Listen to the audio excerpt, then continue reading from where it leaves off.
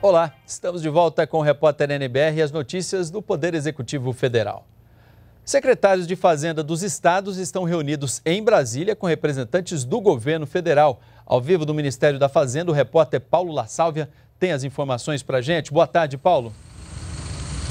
Boa tarde, Zé Luiz. Os secretários estaduais da Fazenda estão reunidos com o secretário executivo do Ministério, Eduardo Guardia, e com a secretária do Tesouro Nacional, Ana Paula Vescov.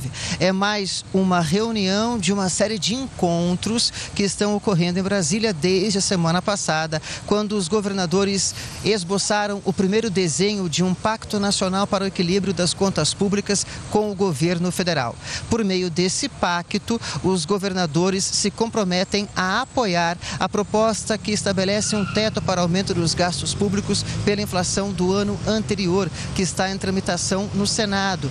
E também se comprometeram em propor às suas assembleias legislativas estaduais mudanças na Previdência Social dos estados, nos mesmos moldes da proposta que vai ser apresentada pelo governo federal ao Congresso Nacional até o fim deste ano.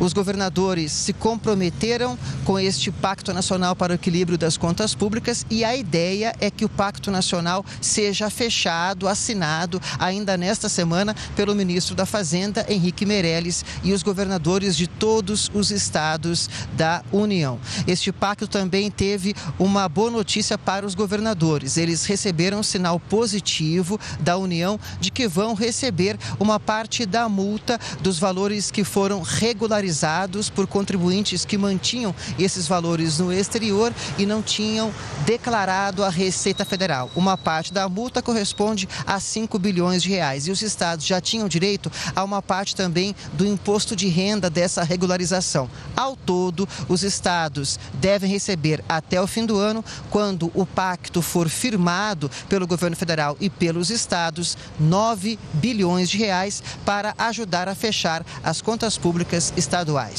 Eu volto com você no estúdio, Zé Luiz. Obrigado pelas informações, Paulo La Salve. É bom trabalho para você por aí.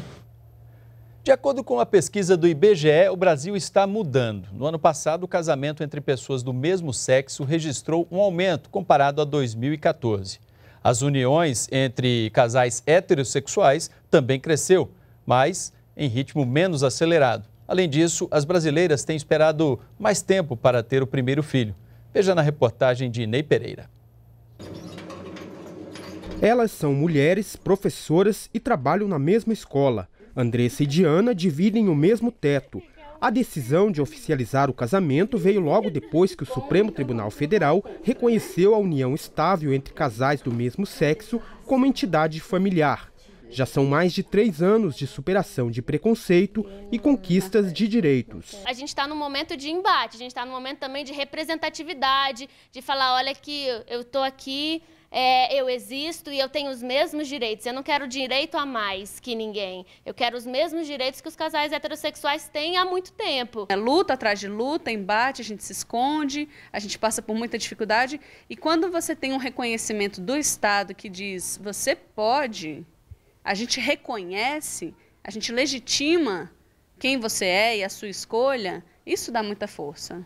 Casos como o de Andressa e Diana estão em alta no Brasil. O casamento entre pessoas do mesmo sexo cresceu quase cinco vezes mais do que entre homens e mulheres em 2015. A pesquisa mostra também uma tendência das mulheres brasileiras deixarem a maternidade para mais tarde. Cerca de 10% das crianças nascidas no ano passado são filhas de mães com idade entre 35 e 39 anos. É o caso da Silvia, que teve o Ian aos 36 anos. Ela conta que decidiu esperar para ter filho depois de conquistar estabilidade, como a compra da casa própria, por exemplo.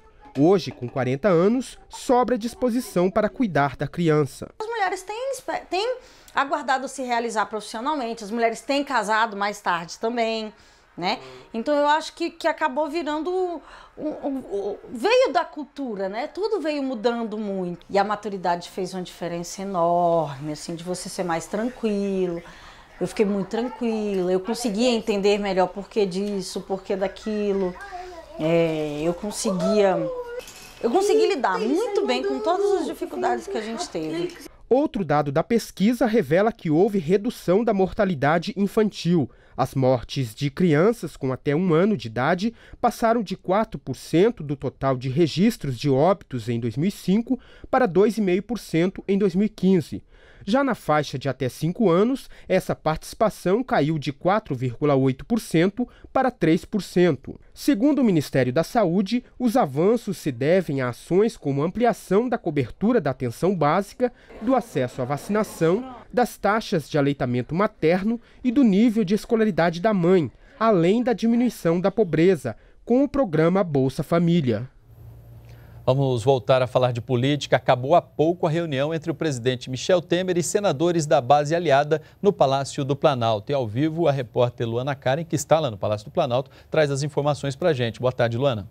Olá, José Luiz, boa tarde, boa tarde a todos. A reunião durou cerca de 40 minutos. Participaram os senadores Aloysio Nunes Ferreira, líder do PSDB, Cristóvão Buarque, líder do PPS, Eumano Ferrer, líder do PTB, Eunício Oliveira, líder do PMDB, José Agripino Maia, líder do DEM e Romero Jucá, líder do governo no Congresso. Também estavam presentes o ministro da Fazenda, Henrique Meirelles, e o ministro interino do Planejamento, Esteves Colnago Júnior. Em pauta estava a votação da proposta de emenda à Constituição que limita o crescimento dos gastos públicos à inflação do ano anterior. A votação da PEC no Senado em primeiro turno está marcada para amanhã à tarde. A medida é considerada prioritária pelo governo para reequilibrar as contas públicas, ajudar o país a superar a crise econômica e a voltar a crescer.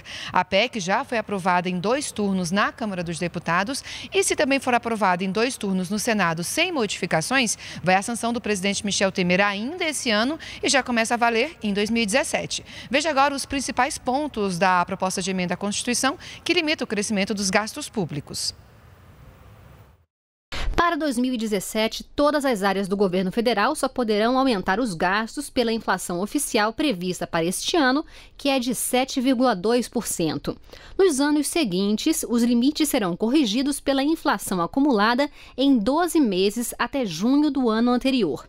Educação e saúde só passarão a seguir a regra a partir de 2018.